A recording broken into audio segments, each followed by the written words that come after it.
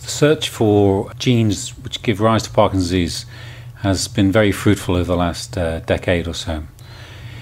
This kindred that we first came across, we were able to trace back to the Fens, part of the eastern part of England, shown here with the box on the over the wash, showed a family with autosomal dominant history of Parkinsonism.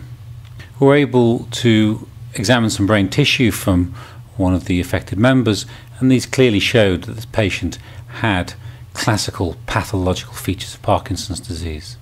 In addition, we were able to use PET scanning technology to improve the pickup rate of subclinically affected individuals, which allowed us to pursue linkage uh, and ultimately gene identification using this kindred and others stop.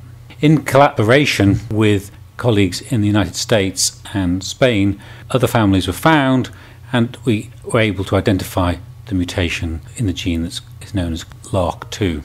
Since that time, a number of mutations have been found. These are shown here on this slide.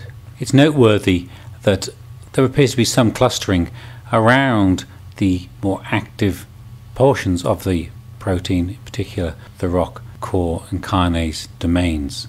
To date, to my knowledge, that there are no mutations proven to cause Parkinson's disease elsewhere. The figures in blue are this fact has been reported in Asian populations. So, one thing we can say quite early on following the finding of this gene is that, from a numerical point of view, this is the most important autosomal dominant gene causing PD.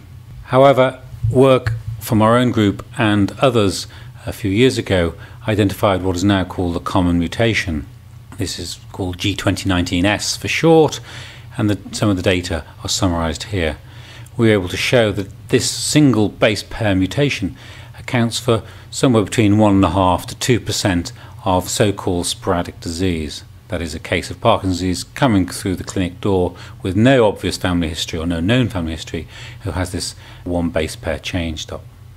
The findings become becoming more interesting when one looks at certain populations, and groups from France and New York were able to show that in certain populations, such as the North African Arabs or the Ashkenazi Jewish populations, this mutation accounts for a very significant proportion of Parkinson's disease. It therefore became very important to work out what the penetrance of this mutation was, what the proportion of cases that might manifest this disease if you carry this mutation. This is important for us to be able to guide patients and their families who happen to carry this mutation.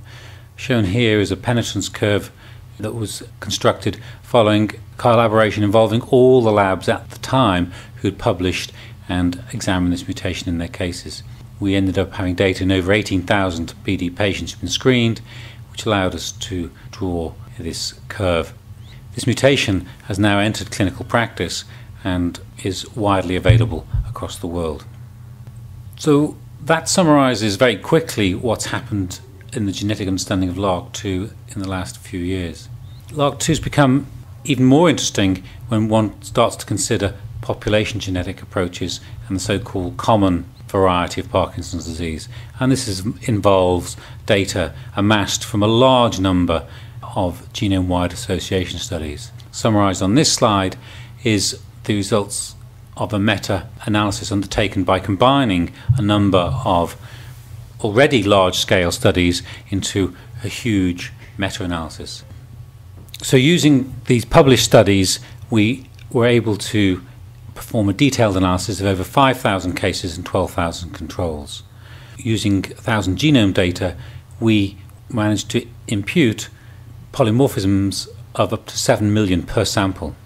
We performed genome wide association and we're able to replicate those findings in a 7,000 cases and 9,000 controls. So this is a very large study, and this is summarized on this slide where we were able to show that common variation around the LRRK2 gene also contributed to Parkinson's disease risk. So we have two ways of thinking about LRRK2 genetics.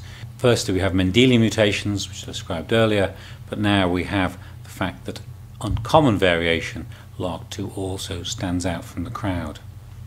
We've been able to fine map the polymorphism contributing to disease risk, And this therefore enables us to start to ask questions about what this means at a genomic and ultimately proteomic and functional level. This summarizes some unpublished work that shows that LRRK2 is not expressed uniformly in equal amounts across the brain.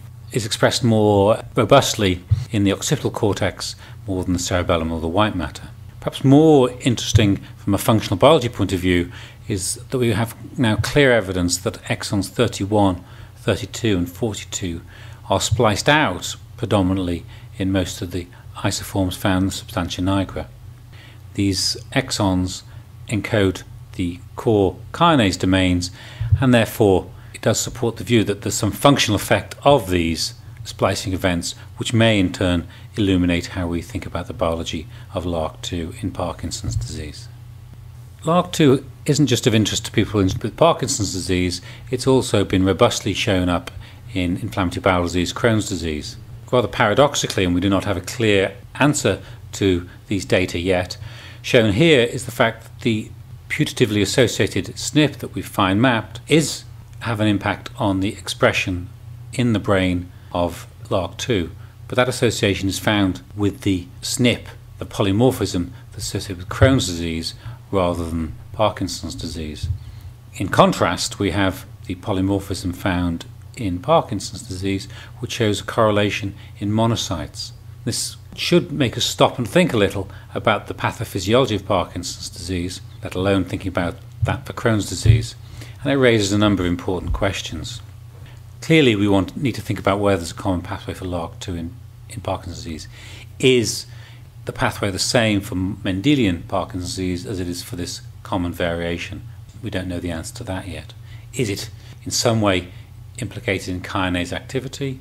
There's some data supporting that for the Mendelian mutations, but we have no data yet in the common variation variants.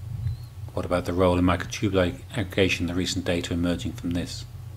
The correlation of the associated polymorphism with monocyte expression raises the possibility, of course, that LRRK2 may be implicating the immune system in Parkinson's disease. The immune system has been implicated before in Parkinson's disease, but this may be the first genetic data pointing in that direction. It also should guide us as how we think about which cell models or animal models to construct if it's true that splicing in or out of certain exons needs to be taken in, into account into the pathophysiology, then we need to know which exons are the ones to be omitted or included in our various models. And this will guide us on what functional biology to pursue in the future.